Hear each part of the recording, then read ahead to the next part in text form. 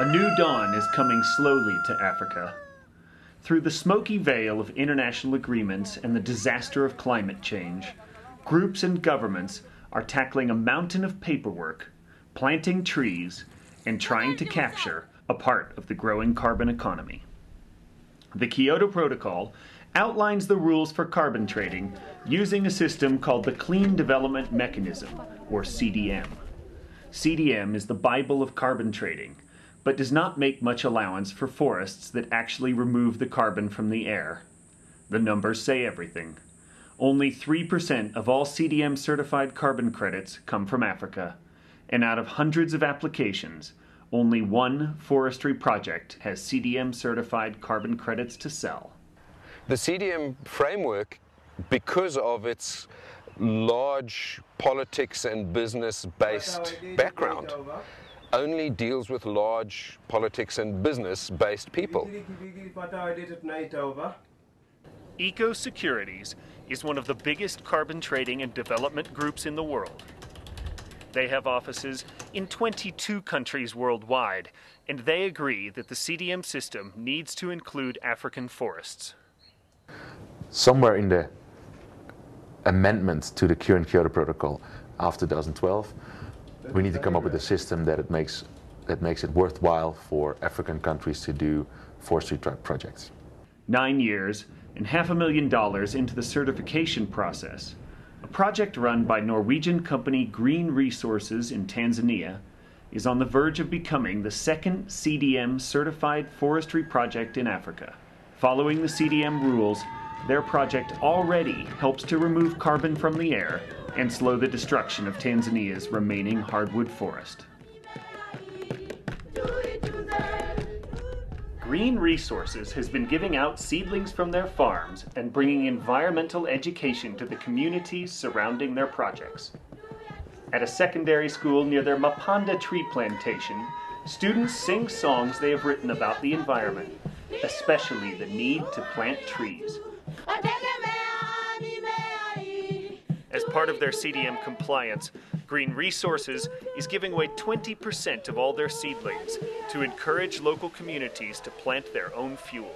Mwaniki Ngibuini, the environmental director at Green Resources, explains. And our company is also supporting farmers in growing their own wood on their own woodlots. We give 20% of uh, total seedlings pro produced to the farmers so that they can grow um, wood for their poles, for their fuel on their own farms, and they have no need to go and cut in the natural forest. This tree planting project has allowed local communities to not only meet their energy needs, but also sell part of their tree crop for a profit. At one of the planting projects in Mapanda, village elder Mabasola Kisonga explains what it means for him to have his own trees. Miche nyingine tulikuwa tunawatika mimi mwenyewe, alafu nyingine kampuni ilikuwa ina inagawa kijijini. Ya kwangu nimepanda eka moja ya kwangu nafsi, eka moja. Hii miti nataka ikikua niuse nipate hela za kusomesha tena wajukuu waliobaki. Green Resources plants fast growing, exotic, foreign species of trees like pine and eucalyptus. There is an argument among environmentalists about whether this sort of forestry project should be encouraged through carbon trading. This is not the forum for that argument, yet there is a growing appreciation that, at least in areas of high rainfall, they are easier to harvest and grow quickly, so can help stop more widespread destruction of indigenous hardwood forests. The, the, the, idea of, of course, of planting um, exotic, fast-growing species is that they, they, grow much faster than the natural um, miombo species. And in Tanzania, um, clearing of the miombo is going on at a very alarming rate. And um, if nothing is done about it, we have no miombo forest in the future. Sub-Saharan Africa's forests are in crisis. The booming cities of the region rely on charcoal made from old growth hardwood forests. Many African countries are lobbying at the Copenhagen Climate Convention to make it easier to certify forests for carbon trading. Green Resources and its partner business run one of the biggest timber plantations and sawmills in East Africa. As a timber company, they generate a lot of waste that is being recycled in a novel way. Joshua Mabonga is the biofuel manager at the mill. This company is planting trees and it's operating sustainable basis. So all the waste will also be sustainably utilized.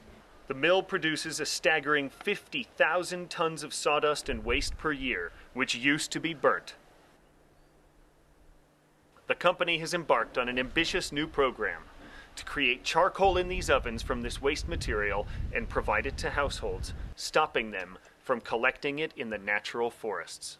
The company we have acquired briquetting plant, which is going to densify. It's going to densify this light charcoal into heavy density briquettes. And by the next year, middle of next year, we shall be in production of briquettes, which will be available to, to household use. Charcoal is one of the most damaging extractive industries to Africa's forests. Every morning, in lines like these in Blantyre, Malawi, every city in the region sucks in hardwood charcoal for fuel. In Malawi, charcoal has been recognized by the government as particularly damaging, so they have outlawed it. Yet this approach has obviously not worked. In Mozambique, Alan Schwartz, director of the Mozambique Forest Project, explains the rate of this wood loss. More than 90% of the population is dependent on fuel wood for their energy. Uh, that works out at about two cubic meters per person per year.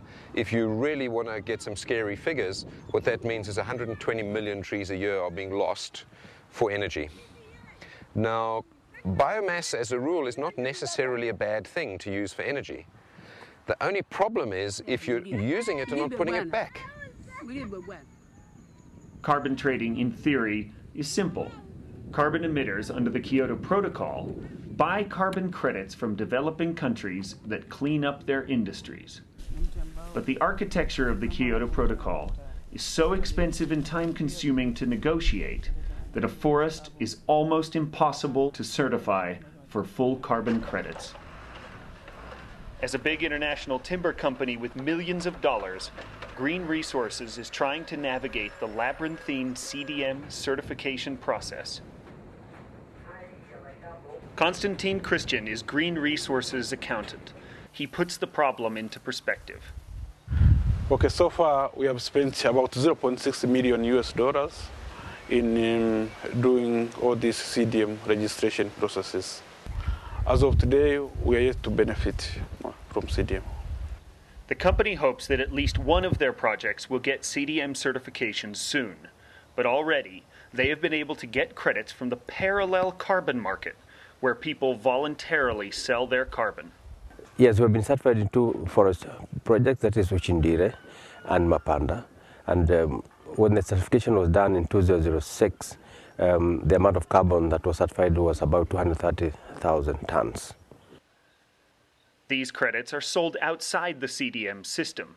But more and more, their value is being appreciated by companies that wish to lower their carbon footprint voluntarily. So the CDM must adapt its way of dealing with things to deal with units which are smaller, that can be afforded by the guys on the ground. Despite the difficult process, many groups and companies throughout sub Saharan Africa are trying to make carbon trading through forestry a reality. In South Africa's far southeast corner, climate change is forcing traditional farming practices to be abandoned. Farmers like Peter Kruger are attempting to use carbon trading to rehabilitate their drought scarred farms and turn them into a vast CO2 storage system that earns carbon credits. And I don't think we will ever farm again, really. It's, farming is not for this area. There is no choice, since the water he used to use in the 1990s to farm his land is now gone. We used to plant vegetable seeds, but it's totally dried out now. We can do nothing with this land. You'll see this picture here from how this area looked before when it was still in production. We used to produce about 40 tons of uh, seeds on this farm. This area was once home to all the big African animals, surviving in tandem with the subtropical thicket supported by the local indigenous plant, spekboom. You can clearly see on these images the fence lines that separate the healthy thicket from grazing land where sheep and goat farming has decimated the spekboom. Where the spekboom is gone, the place is turned into a desert. On the other side of the fence is healthy spekboom thicket. Spekboom thicket not only helps retain scarce water, it is also an excellent way to take carbon out of the atmosphere. Dieter van den Broek works for the South African non governmental organization Living Lands. It's from South Africa, it's indigenous from South Africa, from this region. What they say it's a carbon sink. They call it really a carbon sink, but it's the special thing it's about sequestrates a lot of carbon, but it produces a lot of litter. So when you go under a spekboom, there is a lot of litter there, a lot of organic matter that goes into the soil. So it's it's not only above carbon, but it's in the litter and below carbon. There is a lot. So that's that's the, the speciality of this tree. What you see here is dried bare soil. But here you see a full grown healthy spekboom. It doesn't only make the area healthy, but the secret is it sequestrates CO2 in its dead leaves and twigs. This is CO2, that's what it's about. Partnerships are vital in a large scale project of this kind, and by aligning the needs of many groups, the project hopes to re energize the local economy while improving the environment. Why, why this project is so successful, we have a really good partnership with the South African government through the Working for Water program is investing a lot of money in it. We got the Dutch government involved, so you have that security of governments involved. We work closely with Eastern Cape Parks, who is the managers of the area. We have a good scientific basis, are doing research to support the work. And mainly we work a lot together with the farmers and the local communities. Those are the drivers of the project and we try to support them. These are the possibilities of carbon trading, but right now it is difficult to certify carbon credits gained from forestry projects. But there are ways to sell carbon credits without getting official CDM certification. Hank Sa from carbon trading group EcoSecurities explains about carbon trading's voluntary market. We, we have the, the, the compliance market, the CDM system, and separate from that, we have the voluntary market. Within that voluntary market, there are certain um, standards. One of them, probably the most prominent one at the moment, is the VCS, the Voluntary Carbon Standard. This is to um, provide a level of, of, of, a quality stamp on a voluntary emission reductions. What's really interesting is the voluntary markets are actually very big. And the voluntary markets need to actually be acknowledged by the CDM. But even the best voluntary carbon credit is worth only half of a fully certified one. South Africa and many other countries will lobby to have forestry projects like this one included in a new carbon trading agreement. And I think the most amazing thing about this plant, what you just do, you cut a piece of specky off like this, you leave it for two days dry out a little bit, you stuck it in the ground and it grows. And a lot of other trees, you need seedlings, you need to grow seedling in nursery, and that really makes a lot of more costs. We need to go to something that's sustainable in the long run. And I think the spekboom is, is, is, is one of the uh, plants that we can plant here and it will give us uh, a future for this area. By offering cash incentives for this carbon through the carbon trading system, it will not only strengthen the local economy, but will hopefully slow the climate change taking place here. So it's a good thing if farmers can give something back, which they took away from nature. The project hopes to replant hundreds of thousands of hectares of spekboom, provide thousands of jobs in the poorest areas of the country, and soak up millions of tons of CO2. Forest destruction is a problem throughout the region, but in a small developing country like Malawi, it is an environmental catastrophe. Malawi is one of the most deforested countries in the world, and the remaining forests and woodlands are being cut down at an alarming rate. Throughout the country, timber cutting by local communities has been reducing former forests to marginal farmland. A year ago, thick Miombo woodland covered this area near Mangochi, But the relentless need for energy from communities and a lack of other viable fuel options has seen it disappear. But there may be some hope. Technology is coming to the Malawian countryside, and it's something to sing about. On a recent Sunday in Manjanja village, a group has gotten together to sing, to gossip, and to make Mbaula Chitetezo stoves. This is the Mbaula Chitetezo stove. Its name means environmental protection. Though simple, the stove has radically reduced the amount of wood Malawian households need for their energy. In the past, the three stone fire, like this one, was the best technology available. The stove burns cleaner for much longer on less than half the wood, and it's made from locally sourced materials. Linda Chiwaya explains how using this technology has changed life in her village.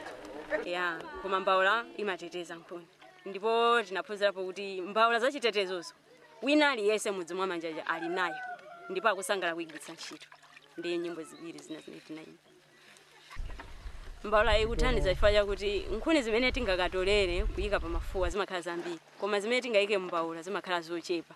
Ndiye timatenga nthawi tisanabwererenso kulitchire kuja ndiye nkhuni zochepa tingatopikira pa sabata masabata awiri. Pomwe mulu umene takhala pa mafuwa tiphikira mwina masiku awiri okha. The technology is in the design. The materials and building techniques are local and affordable. Hestian Innovations, a plucky Irish company concerned about deforestation and looking for ways to get Africa involved in the carbon economy, appreciated the difficulty of carbon trading through forestry. If we could get carbon credits, CERs, through this CDM here in Malawi for reforesting with smallholder farmers, we would love to do it. But we know that it's just too difficult. It's too complicated, so we're better off focusing in on energy efficiency. They looked at the problem in a different way. What if they could reduce forest destruction by using technology to reduce wood consumption and in turn reduce CO2 emissions? The technology we're promoting reduces the need for wood. So instead of using 10 pieces of wood, they can now use four pieces of wood. This is a big cost saving for them, but it also reduces pressure on the forest, so there's less trees being cut down. Tobacco is one of the main cash crops throughout Malawi. The most lucrative tobacco is cured in wood fired kilns. The technology that Hestian Innovations is promoting reduces wood consumption in these kilns by about 50%. These are called rocket barns, and in two years they have sold almost a thousand of them. Ndipo mabana amene tasintha tugwiritsa ntchito tsopano ni mabana amene akutithandiza kwambiri chifukwa uh, tugwiritsa ntchito kusiyana ndi imene magwiritsa ntchito kumbuyoko. Kumbuyoko mabani yake amalitengerano zambiri chifukwa nkhuni zimapita zambiriso koma pano nkhuni zake zochepa zedi. We're at the stage now where we've got about 800, 900 of these barns out there. The farmers are talking about them, they're loving the idea, they want more barns. Demand is very high. We can bring them this cleaner technology that can benefit their lives. By selling stoves and barns through microloans on a massive scale and using carbon financing to help fund part of the costs, Hestian Innovations reduces carbon emissions and makes their money through a long term monitoring system, which measures how much CO2 is not going into the atmosphere.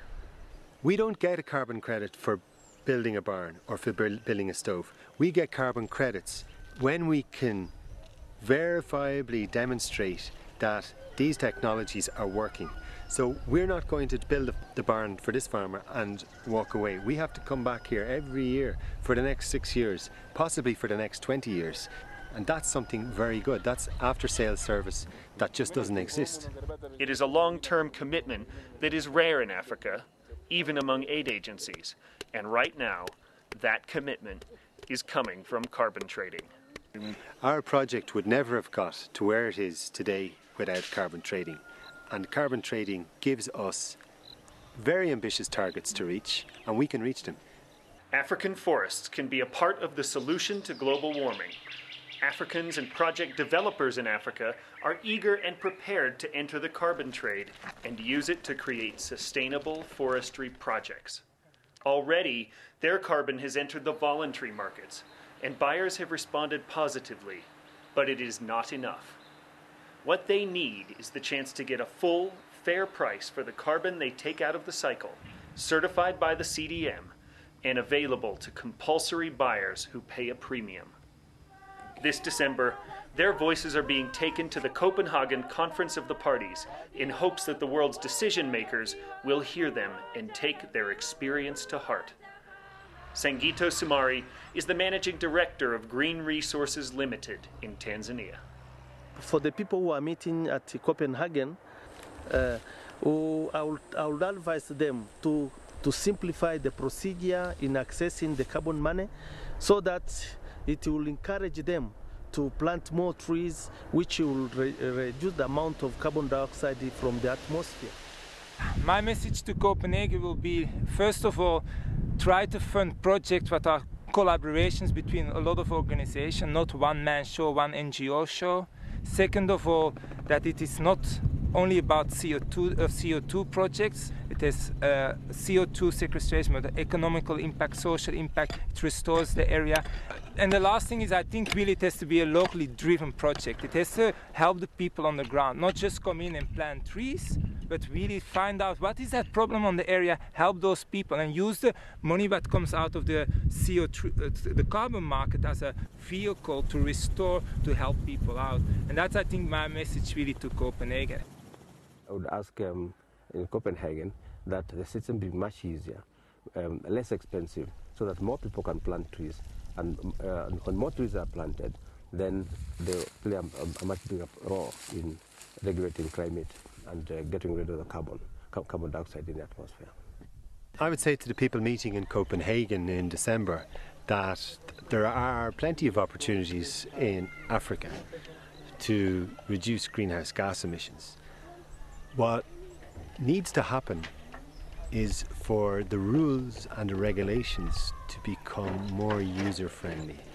The CDM process is very complicated and it doesn't really need to be that complicated. It can be simplified, especially for least developed countries that share many similar characteristics.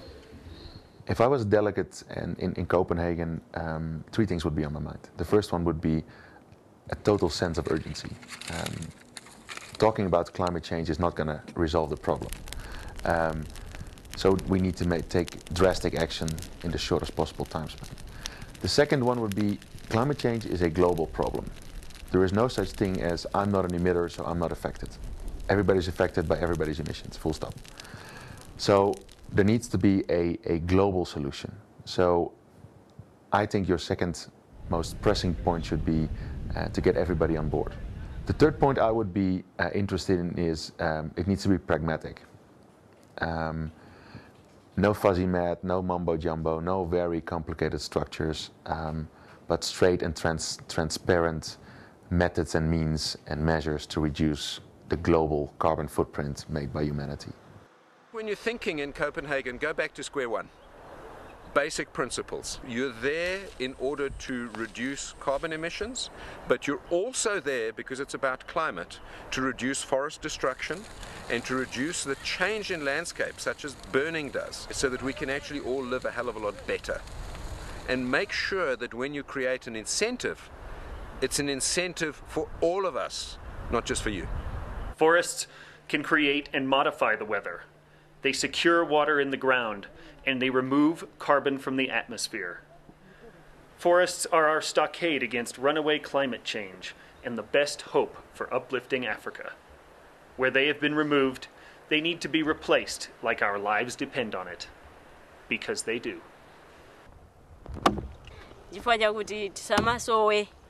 nkhuni zogwiritsa ntchito utsogolo chifukwa yomwe ilipoyo itha koma mwa moti ijaisati tipitize bodzalo tizikhala pobi